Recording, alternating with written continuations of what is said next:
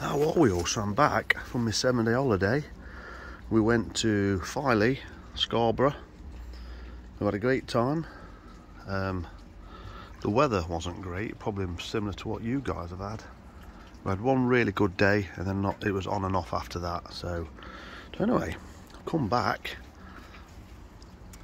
found the goldfish. The goldfish was in there. The goldfish was in this tub of lilies. Now this, I've come back and I had to just top this up. So I've literally come back, seen the neighbour on the front who's looked after the garden and everything. The plants look great, but she just said it's making a noise and the water level had dropped. So this water level had dropped. I've got a leak somewhere. So I've isolated this plant filter. So I'm going to put some um, blanket weed answer in there so you'll get rid of that greenness. And it was fine. It was fine. I can't see any wetness anywhere. I don't think it's tracking underneath. The pond is now clear as you can see which is marvellous. How clear that is now. So they've just been fed. So come and join me to the bottom of the garden. What I've not glad to be back with too is neighbouring noise and whatnot. Because it's been really quiet where we are because it was a, actually a farmhouse cottage converted and it was really quiet, mega. Just a bit out of the way. Would have preferred to be near a beach. Oh, they're all right. The bees are looking good there. So, they're okay. So I've not been in here yet. So this is literally after a week. Put on there. The auto watering has been on for them, which is great. And here, oh, they look good. So far, no dramas. well they're looking nice. Hey, so they're probably out without food. Oh no, still got some left. So they've had it been trickling in. Absolutely awesome. So they're doing well. So what I did do before I went, and I said I weren't going to do it, was have my trickle on. So I've turned the trickle on. So that's why the the water level's high. It's been trickling in a lot. You drip. And that one's the same trickling in. You can see at the back there.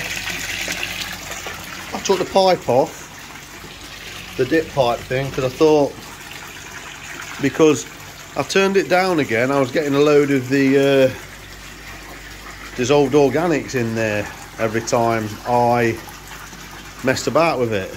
Well now obviously they're coming through, the disturbance is coming through.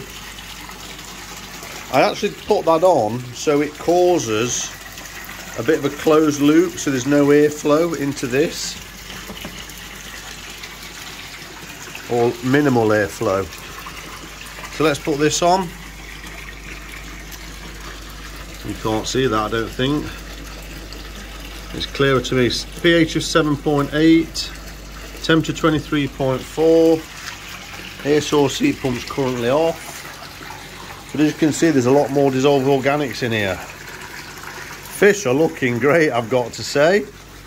The feed has obviously been doing well. That's probably ready to be topped up. Oh, that's strange. Yeah, probably a day so there. So, I know that with this system I can easily last a week. Bloody marvellous. Absolutely marvellous.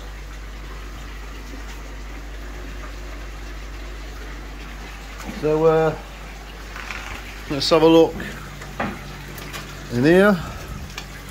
Whoa, that's a bit high. That is a bit high, look. Some of the, the media's in there. So why is that? That is on its maximum level where I really didn't want it. Now. I've probably got too much flow running through this because I thought before I left and cleaned it out that looked a little bit less. So what I did I totally turned this one off and tweaked that down a little bit. So I've obviously actually pushed it too much so I can either turn that open that a bit more and get water flowing through there a bit more. And reduce that or crack that one open or turn the flow down. I took this out as well. That's actually the top cleaning pad there for that. So I would expect probably a little bit more muck in here now or in these but it probably works through so yeah I know what I might leave that off. I just looked in there. So yeah it's just the dissolved organics now in the water. Now that's not necessarily a bad side. If you look at like a lot of koi nurseries and koi farms they do have a lot of movement. They do have a lot of DOCs in especially if they're heavy feeding. And this is going to be going up now I'm back. So I'm going to up these feeds to try and get onto a maximum amount of food now in here. So now I've took that tube off and it was collecting in the bottom of here. I think it, the DOCs were collecting in the bottom of there because it went up and over like that. Now they're not. It's just whizzing straight down smashing against there creating that movement. And now I've got DOCs and obviously with the higher the food going in the more dissolved organic compounds are in there. Therefore you're going to get more. But it's like I say when you feed more you're going to get more of a tinge of water. It's going to get a more yellowy colour probably most likely. Like it's got tannins in there and that's from feed. Another load of organics. And also because of the smashing of water I've got the airborne now as well. Look when the bubbles push right over here which is great. And the fish are looking great. So what I'm in here now my job now is to purge the clean that and fill that up. So I've got to clean this filter and then take me a, a minute. And then we look at this. As you can see I've probably about pushed the maximum there because the water I'll tell you what it's done. Because it's remained quite high because I'm trickling in it's remained at a high level see the water there look. What I have got there look a little bit of tracking. So the water is going through the bottom and it's just tracking a little bit there look. You can see it there coming over the top and through so and there's the center but I've been able to leave this a week. Seven days Friday to Friday and look at it. Mega so let's have a look you normally find that they get a lot more of the muck collecting there look where it comes in so it's coming in there, looks quite clean there, then it's all mounting there. So let's have a look down this side. Yep, loads of muck there, look. And then it stops there, look. So yeah, I am over the moon with that. So all I've got to be careful now is, when I put the pipe in, not to disturb it too much. So, this is all going off. Now what I've got to decide is, do I leave the trickle on or not? Because I turned it on? See there? And I've done that this week because I knew I was going to be um, away for the week. So I knew the chances are because I weren't going to be cleaning them out for a good week for a whole seven days that the water level will drop and I didn't want that to happen. So let's see if this has dropped. Not yet. Not yet.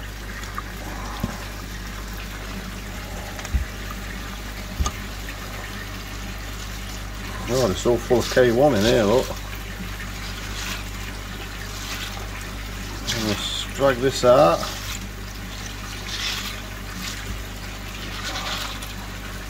Hmm. Well, there's still the good thing about K1 is it floats, look, so you can easily get it out. Can see it coming over the front edge there, look. Because the water level in here is too high. So,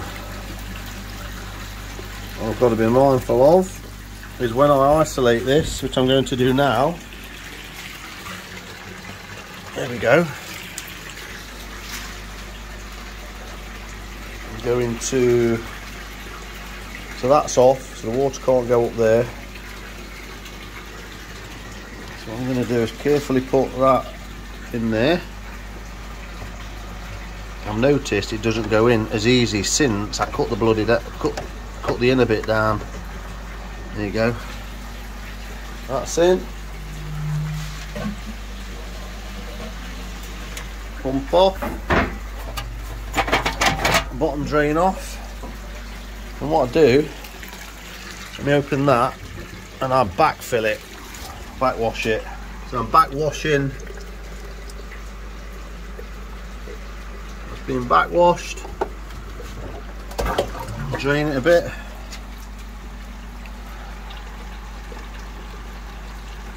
So that's been backwashed down this pipe now. So that's coming down there, down there, down there, and that's been cleaned now, look.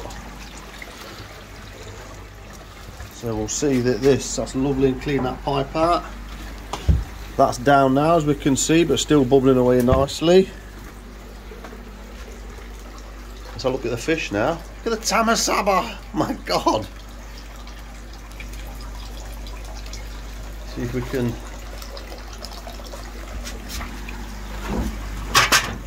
So we turn the oh I think it's this one. It's the one. Look at the difference. Let's see if we can get a look at the fish. Can you can see the circulation from the water coming out of there, look. Now one one fish that does look bigger definitely. Is the uh, Sanke. The Sakai fish farm you see it there? To that. That's definitely put on some body volume. Definitely can see the difference in that. And the Maruten Goshiki from Sunnybank Koi there. That looks more of a presence now. Look can you see it? Whereas that was more of a sliver. The Kujaku as well is looking nice. That's putting on some body. So they all look like they are.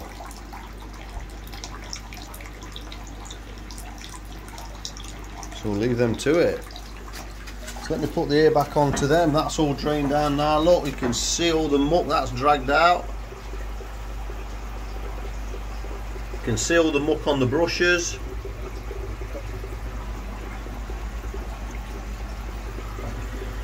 Look at that.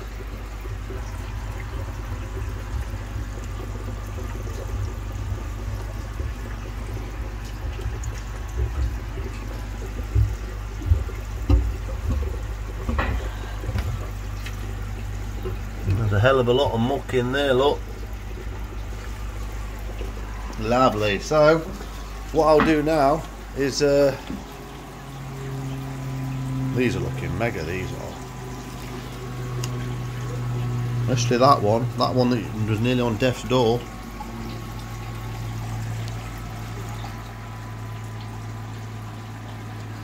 So we've got that split fin, but it's looking very healthy now.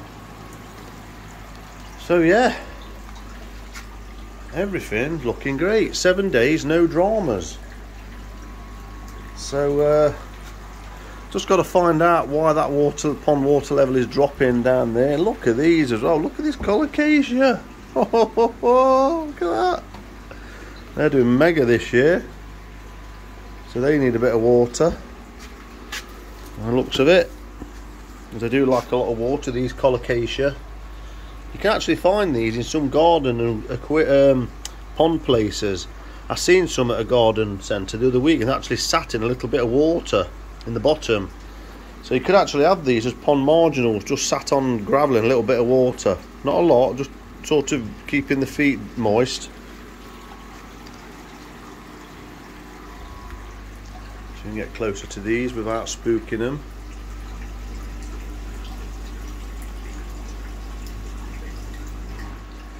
So what I am doing this this year, and I've said it before in previous videos, but if you've not heard me say this, these aren't coming out until September, October, when they'll be doing harvest in Japan. So I'm going to kind of mirror that, but I'm not harvesting them, I'm not moving them anywhere. But what I will be doing is getting them out, giving them a health check, and giving them a measure to see what this summer, in terms of growth, has achieved, and having a look at them.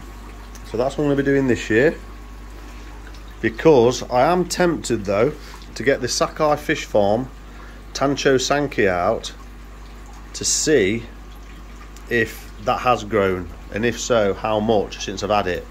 So I've got a marker on that one fish. Is it a centimetre, two centimetre, three four? I don't know. So I'm just interested to see shall I just get that one fish out net it up put that bowl in. It'll be in there for literally 30 seconds. Measure it up. While it's all quiet. Job's good and then I can then I'll know if that has grown since I've had it.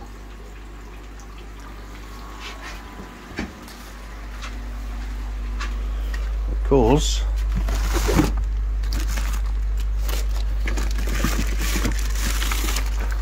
So there it is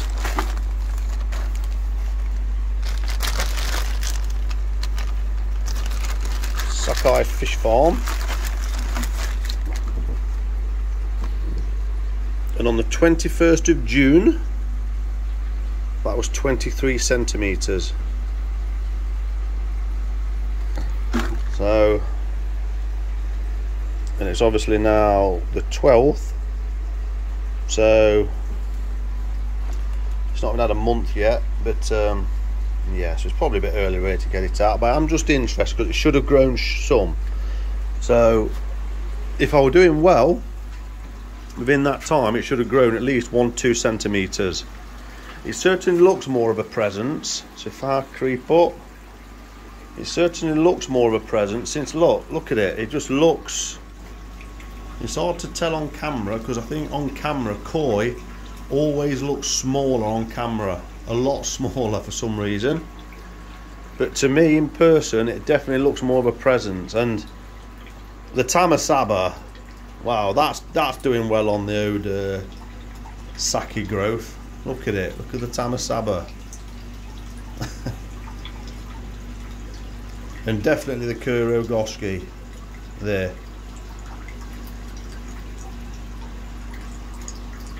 They're all doing mighty fine so, I might do. I might get it out and have a look. If I do, I'll report at the end of this video. It'll only be a sliver of a recording at the end, because that's 18 minutes of waffling already. So, there you go. Seven days on holiday. I've come back. That's been the complete reality. Nothing hidden whatsoever. Like I say, I've had some water loss on the pond up there, and I think it's the plant filter at the end, but I thought I'd sorted that that's full of muck. I'm going to do a full water test. So actually I'm going to do a full water test and I will report back what the ammonia is so I know what it was like before I left. It was on 0.17 on the uh, uh, ammonia checker and the nitrite was just a sniff. So I will be interested to see what it's at now after a week of no cleaning because you would expect it's gone up wouldn't you? But I put a pure pond ball bomb in there. Not a full one about half of one of them so uh, yeah, be back. So the night the ammonia test is uh, done cooking. 0.13. That's actually 0.05 lower than the reading last week, a week ago. On Thursday. So it's Friday the 12th.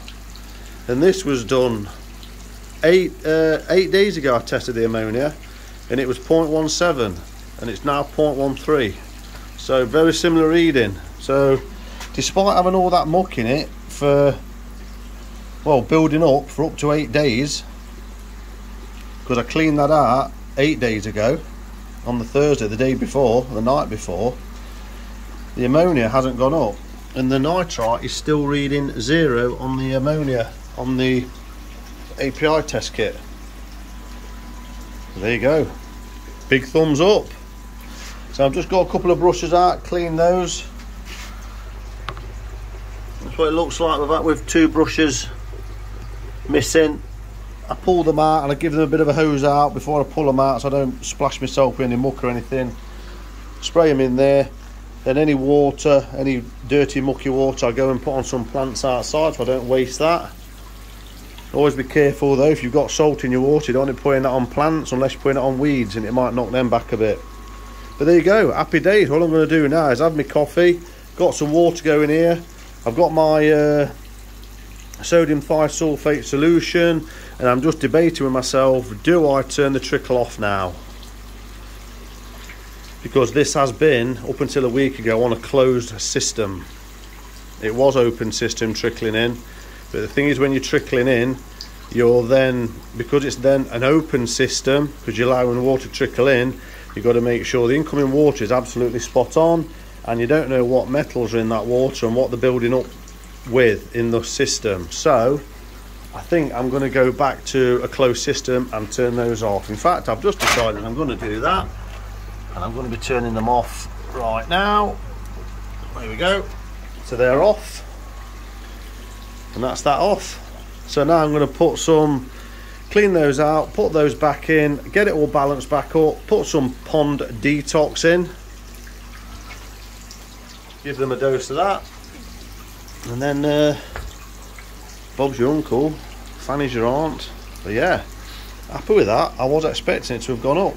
So on that note out thanks for watching thanks for subscribing if you haven't subscribed already please hit the subscription bell and notification as well and please hit like on the video the sun is about to come out it seems a bit brighter here than it has it did in Filey if I'm honest with you it looks like there's been a bit more sun on and off here. It was a bit more cloudy there. But anyway, enough of that. How are your ponds doing? Drop a comment down below. Let me know. Things here are looking good, so I'm going to be up in this feed now. I did up one actually. I said I weren't going to, so I will before I do go. Um, I've done my thank yous. So to conclude, on the feeder, I did up one of the afternoon ones to two to to number two. So that will give um, probably, I weighed them out on number one and I put that little adapter in there that I made in the feeder behind me there. Um, it was on average about six grams per feed on number one. So on two, it was doing about twice that. So uh, yeah, I'm going to start. And so on one of the feeds in the afternoon, I upped last week. So I'm going to have a look through those settings and have a look and up another one. And I'm going to keep creeping up now for the month of July, for the rest of July, and hopefully I'll be on my maximum feed throughout August. Happy days. How are you doing? I still see people messing about with nitrite and stuff, and it's really sad actually because you're not getting the benefit of the full season because at this time of year now, especially if you've got 24 degrees in your pond water, like I have, I've been running free sailing now for, for May and June already and I'm already into July. So two and a half months plain sailing no issues. I've tackled everything in autumn and winter. Anyway see you on the next one